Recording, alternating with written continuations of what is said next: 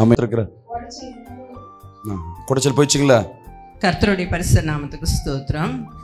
இந்த மாதம் வாக்கு தத்துவத்தை ஆண்டவர் எங்களுடைய வாழ்க்கையிலே ஆண்டவர் உறுதி செய்தார். அது மாத்திரம் இல்லாமல் ஏழு நாள் பிரதர் வந்து ஜெபத்துக்கு வழி நடத்தினார். அதை நான் வீட்டில் இருந்தே முழங்கால இருந்து நான் ஜெபித்தேன். அதற்கும் பதில் கொடுத்தார். என்ன என்றால் இதோ நான் ஒரு புதிய காரியத்தை செய்வேன் அது இப்பொழுதே தோன்றும் என்று சொல்லப்பட்ட அந்த வார்த்தை வாழ்க்கையில் உண்மையாக அதை நான் விசுவசித்தேன். எங்களுடைய வீட்டை குறித்து கோர்ட் கேஸ் நடந்தது. அந்த கோர்ட் கேஸில் எங்களுக்காக ஆண்டவர் சாதகமாக செயல்பட்டார். அது க பெரிய காரியம் அதை நாங்கள் நினைத்து பார்க்கவே முடியல. அது கர்த்தருடைய நாமத்துக்கு தான் மகிமை. அப்படிப்பட்ட இந்த ஒரு இந்த வார்த்தை இந்த வாக்கு தத்தத்தின் வார்த்தையை இந்த மாதம் கொடுத்தது அது வெறுமையாக போகாது அதற்கு பதில் உண்டு. அலலூயா ஸ்தோத்திரம். எனக்கு சாட்சி அனுப்பின தேவனுக்கு ஸ்தோத்திரம் பண்ணிக்கிறேன் வீட்டிலேருந்து கிளம்பும்போது வண்டியில் பெட்ரோல் இருக்கானே பார்க்கல. கிளம்பி வந்துட்டோம். கடைசியில் பார்த்தா பெட்ரோல் சுத்தமாக இல்லை. அங்கேருந்து பெட்ரோல் பங்க்கு டூ கிலோமீட்டர் நான் அந்த வாக்கு தத்தத்தை சொல்லிட்டே வந்தேன். வனாந்திரத்தில் வழி உண்டாக்கன்னு சொன்னீங்களே என் வண்டி வண்டியில் பெட்ரோல் இல்லை. ஆனாலும் என் வண்டி போகணுன்னு அதே போல் பெட்ரோல் பங்க் வரைக்கும் என் வண்டி எப்படி ஓடிச்சுனே தெரியல. அது வரைக்கும் வந்து நான் பெட்ரோல் போட்டுட்டு வந்தேன். அவ்வளோ தடையை எடுத்து போட்டேன் தேவனுக்கு. கர்த்தர் பரிசுத்த நம்ம ஸ்தோத்திரப்படுவதாக.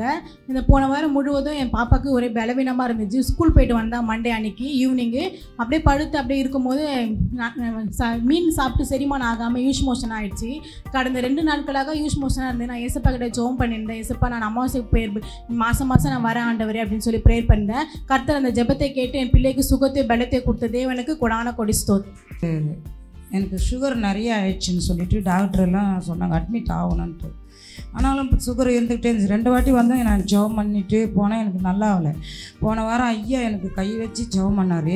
மறுபடியும் போய் செக் பண்ணி பார்த்தா சுகர் இல்லாமா நார்மலாக இருக்குது. நீ அட்மிட் ஆக தேவையில்லை அதே மாதிரி கொசு வத்தி கொளுத்தி வச்சுட்டு நான் பாத்ரூமுக்கு போனேன். போனால் கண்ணில் பட்டுச்சு. ஆனால் கொஞ்சம் மிஸ்ஸு கண்ணுக்குள்ளே படல இந்த மேலே பட்டுச்சு. அதுலேருந்து காப்பாற்றினார் அதே மாதிரி கேஸ் ப ஒரு கேஸ் பற்ற வச்சேன். இன்னொரு கேஸ் தானாகவே பட்டுன்னு வந்து பற்றிக்குச்சு அதை பற்றி அப்படியே நெருப்பு அப்படியே மனம் அனலும் மூட்டுச்சு என் மேலே.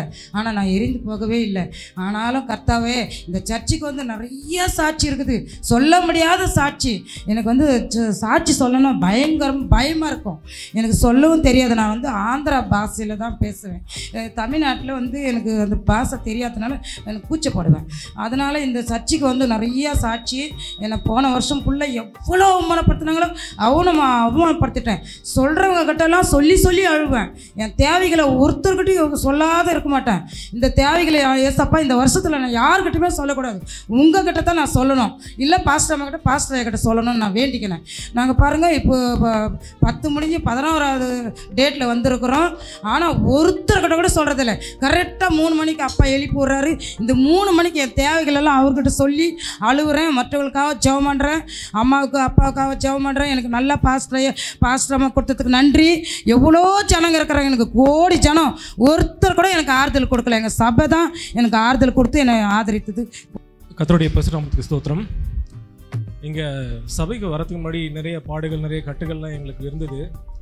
அதெல்லாம் வந்து இப்போது இந்த சபைக்கு வந்ததுலேருந்து கொஞ்சம் கொஞ்சமாக கம் குறைய ஆரம்பிச்சது. இது எப்படி எங்களுக்கு தெரிய ஆரம்பிச்சதுன்னா வந்து நான் வேலை செய்கிற நிறுவனத்தில் எனக்கு கிட்டத்தட்ட ஒரு ஏழு வருஷமாக எனக்கு ப்ரொமோஷன் இல்லை. ப்ரொமோஷன் இல்லாதனால ரொம்ப மன வருத்தத்தில் இருந்தேன் என்னடா இது எதுவுமே முன்னேற்றமே இல்லையே அப்படின்ட்டு. அப்புறம் பாஸ்டர் என்கிட்ட சொல்லிட்டு இருந்தோம். எங்களுடைய வேண்டுதல் எல்லாத்தையும் சொல்லியிருந்தோம் சரி சரிங்க கண்டிப்பாக ஜெபம் பண்ணலாம். நீங்கள் முதல்ல விசுவாசிங்க அப்படின்னு சொல்லியிருந்தாரு. ஸோ அந்த மாதிரி பண்ணும்போது ஒரு நாள் ஐயா வந்து கட்டுகளுக்காக வந்து ஜெபம் பண்ணார். அன்றைக்கி நைட்டு ஜெபம் பண்ணியிருந்தார். அடுத்த நாள் காலையில் எங்கள் மேனேஜர்கிட்ட இருந்து ஃபோன் வந்து உங்களுக்கு இந்த மாதிரி ப்ரொமோஷன் இனிஷியேட் பண்ணிட்டோம். இன்னும் ஒரு ஒரு மாதத்தில் உங்களுக்கு ப்ரொமோஷன் வந்துடும் அப்படின்னு சொல்லிட்டாங்க. ரெண்டாவது வந்து என்னுடைய என்னுடைய மகனுக்கு வந்து பேச்சு முழுமையாக வரல. சும்மா ஒரு ஒரு வார்த்தை தான் பேசுவான். இப்போது அவனாகவே ஒரு சில ரைம்ஸ்லாம் பாட ஆரம்பிச்சிட்டான். ஸ்தோத்திரம். கத்திரம் சோத்திரம் நான் எட்டு வருஷமாக ஒரு குடிசையில் இருந்தேன். ஆனால் மழை பாம்பு எல்லாமே அட்டை பூச்சிலாம் வரும். ஆண்டு ஆண்டவர் அந்த வீட்டிலேருந்து என்னை விடுவிச்சு ஒரு நல்ல ஓடு வீடுக்குது நன்றி சொல்கிறேன் இந்த ஜனவரி டிசம்பர் போன வருடம் ஃபுல்லாக என்னை பாதுக்கு தேவனுக்கு நன்றி. என் சகோதரர் சுகப்பத்தார் அவர் கூட நன்றி சொல்கிறேன் இந்த வேலையில் கூட என்னை ஆண்டவர் கூட்டின்னு வந்து இங்கே விட்றாருன்னா அவருக்கு தேவனுக்கு நன்றி கூட நன்றி. கத்திரடி ஸ்தோத்திரம். என்னை சாட்சாண்டி பண்ண தேவனுக்கு நன்றி சொல்கிறேன் போன செவ்வாய்க்கிழமை நான் ஆலயத்துக்கு வந்துட்டு போகும்போது ரோடு கிராஸ் பண்ணேன். ஆனால் ஆட்டோ வந்து சடனாக வந்துச்சு. பாஸ்டர் பா அந்த பாட்டு பண்ணாங்கள்ல அந்த பாட்டை நான் நினச்சிக்கிட்டேன். அவருடைய அன்பு நம்மளை தாங்குது அப்படின்னு அந்த பாட்டை நான் நினைக்கும் போது என்னுடைய சரீரம் வந்து அந்த ஆட்டோ சாயவே இல்லை. அப்படியே என்னை யாரும் தாங்கி பிடிச்ச மாதிரியே இருந்தது. கத்துற என்னை வந்து அந்த ஆபத்துலேருந்து காப்பாற்றுற தேவனுக்கு நன்றி. போன வாரத்தில் உடம்பு சரியாமல் இருந்த தேவன் என்னை உடம்பு சரியில்லாமல் மீட்டு எடுத்தாங்க. ஐயா வந்து ஜனவரி ஒன்றுக்கு வாக்கு இது எனக்கு தரிசனம் சொல்லி சொன்னாங்க. வெளிப்பாடு சொல்லும்போது உனக்கு வேலையில் வந்து தேவையில்ல பிரச்சனை வருமா? ஆனால் அதுலேருந்து மீட்டுடுவார் கத்தர். அது நான் உனக்கு புதிய காரியத்தை செய்கிறேன்ற வாக்குத்தத்தின்படி ஆண்டவர் எனக்கு அந்த பிரச்சனையிலேருந்து விடுதலை கொடுத்தாரு. இந்த சபைக்காகவும் போதுகிறமாக்காகவும் நன்றி நீங்கள் சென்னையில் இருப்பீர்கள் என்றால் தண்டையார்பேட் பகுதியில் உள்ள நித்தியம் பிரேயர் டவருக்கு வாருங்கள். கர்த்தர் போதர்கள் மூலமாய் செய்கிற அற்புதத்தை பெற்றுக்கொள்ளுங்கள். ஆமாம்